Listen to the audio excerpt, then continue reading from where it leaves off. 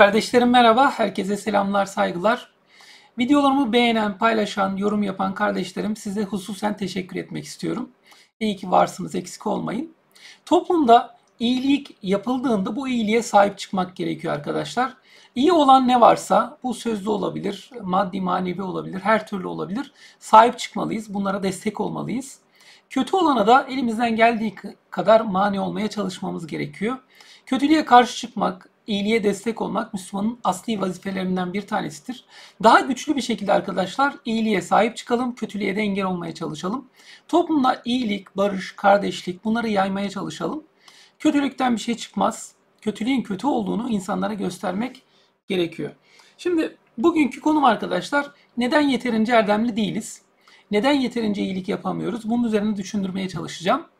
Peki gökten ve yerden sizi kim rızıklandırıyor? Bakın rızkını taşımayan nice canlılar var ki Allah onlara rızıklarını veriyor. Yerin altındaki nice böcek, nice bakteri, nice gözle görülemeyecek kadar küçük canlı. Allah onlara rızıklarını temin ediyor. Onların vücutlarındaki o küçücük minnacık şeylerin vücuttaki artık organ mı dersiniz sistemlerinin düzgün çalışmasını sağlıyor. Yeryüzünde yaprak bile Allah'ın izni olmadan düşmez. Bunun anlamı şudur arkadaşlar. Tüm organlarımız Allah'ın kontrolü altında. Sadece bizim değil o mikronik mikron düzeyindeki canlılarınki de. İşitmenizin ve görmenizin yönetimi, kontrolü kimdedir? Bakın bu sorunun sorumun bir amacı var. Az sonra geleceğiz. Allah görmenizi kontrol ediyor. işitmenizi kontrol ediyor. Peki kalbi onun kontrolü dışında mı? Bu örnekler üzerinden her şeyi kıyaslayabilirsiniz. Kalbiniz dahil olmak üzere, damarınızdaki akan dahil olmak üzere, kan dahil olmak üzere. Tüm her şeyimiz Allah'ın kontrolü altındadır. Allah evrendeki tüm atomlara hükmeden çok güçlü, çok kudret sahibi bir varlıktır. Zaten onu ne kadar tanırsak o kadar çok hayranlığımız artar, sevgimiz artar, saygımız artar. İşte bu ayetler bunu düşündürmek üzere bize yollanmış. Bakın ölüden diriyi, diriden ölüyü çıkaran kimdir? Bakın atıktan, posadan canlı me canlılar meydana geliyor değil mi? Ne kadar muhteşem bir düzen var. Sürekli devir daim ve dönüşüm söz konusu. Tüm işleri idare eden kimdir? Tüm işleri idare eden Allah'tır. Allah diyecekler. Üstelik toplum da buna inanıyor. Dünyadaki birçok insan inanıyor. Soru geliyor.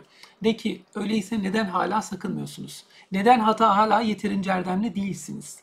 Neden daha iyi insanlar haline gelmiyorsunuz? Dünyadaki ufacık çıkarlar uğruna kişiliğinizi satıyorsunuz rüşvet, çıkar, hainlik, namussuzluk, ölüm, gasp, bir sürü kötülük.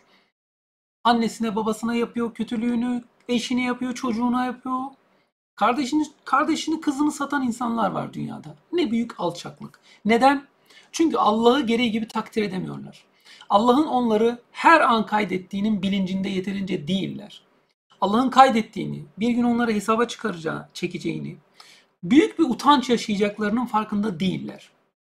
İşte bizim bunun farkında olan bizler olarak şunu yapmamız gerekiyor arkadaşlar. Bu insanlara bir gün hesaba çekileceklerini hatırlatmak zorundayız. Onlar anlar anlamaz. Bu bizi ilgilendirmez. Ama bir gün ağır bir hesaba çekileceğiz.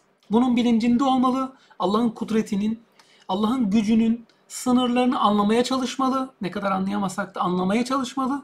Ve Allah'tan gereği gibi çekinmeli. Onun emirlerini gereği gibi tutmalıyız. Bu çok önemli. İşte Allah'a iman etmenin gereği budur. Allah'a iman eden birisi Allah'ın emirlerini hassasiyetle uygulamaya çalışır. Allah'ın büyüklüğünü takdir eden birisi bunu yapmaya çalışır. Ama eğer Allah'ın gücünün sınırlarını yeterince bilincinde değilse bir insan, işte o insan gündelik çıkarlar uğruna ufacık şeyler için kendini satar. Allah diyorsanız neden yeterince erdemli değilsiniz? Bu sorunun cevabını aramalısınız. Selam ve saygılar. Hoşçakalınız.